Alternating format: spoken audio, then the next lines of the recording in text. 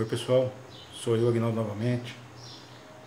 Pessoal, vou mostrar para vocês um decapador da Klein Tools, tá? Acabei de receber.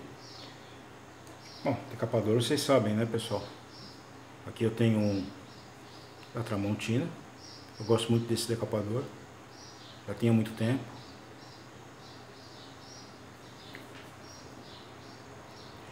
Crimpar cabo coaxial, isolados e, e não isolados, tá? Especificações, diâmetro dos, dos, dos conectores a serem crimpados, né? Aqui ele tem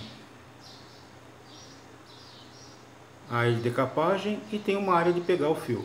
Né? Muito bom para fazer comando, eu gosto muito dele para fazer comando.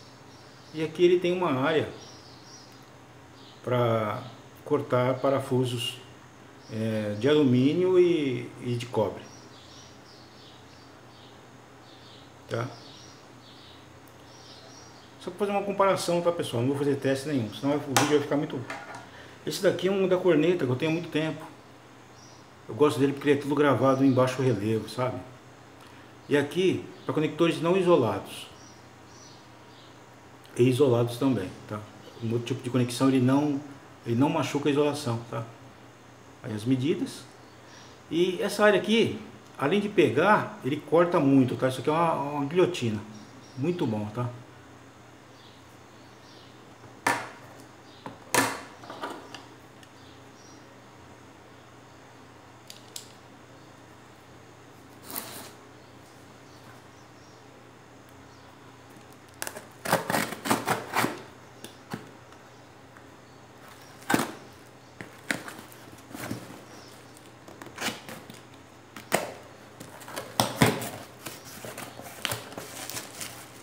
Esse daqui, pessoal, é o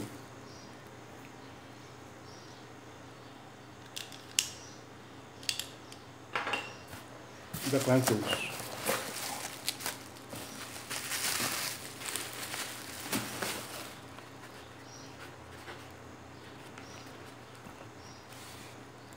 O modelo esse aí.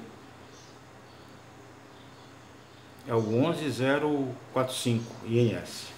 Ele é isolado mil volts, tá pessoal?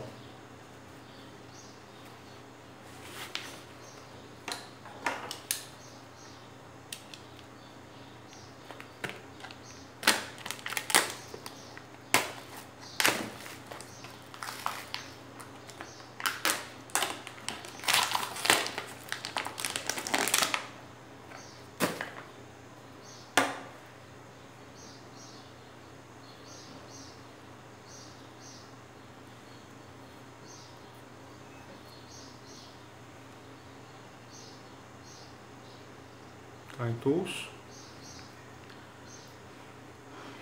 Ele é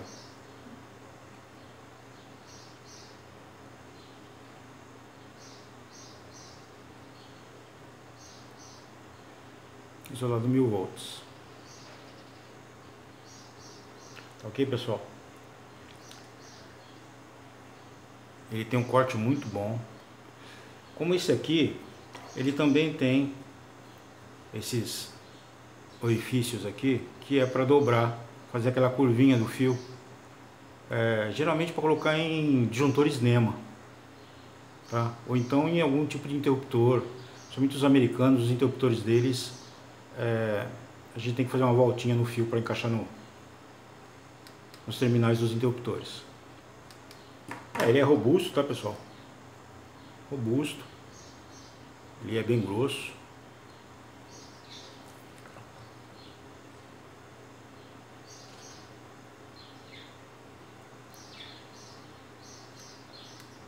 Eu não posso falar para vocês da qualidade é, só usando mesmo, né? mas parece que muito confortável, muito gostoso de usar. Quem sabe num outro vídeo eu faço até uma comparação, tá? Com ele e outros decapadores. Ok, pessoal?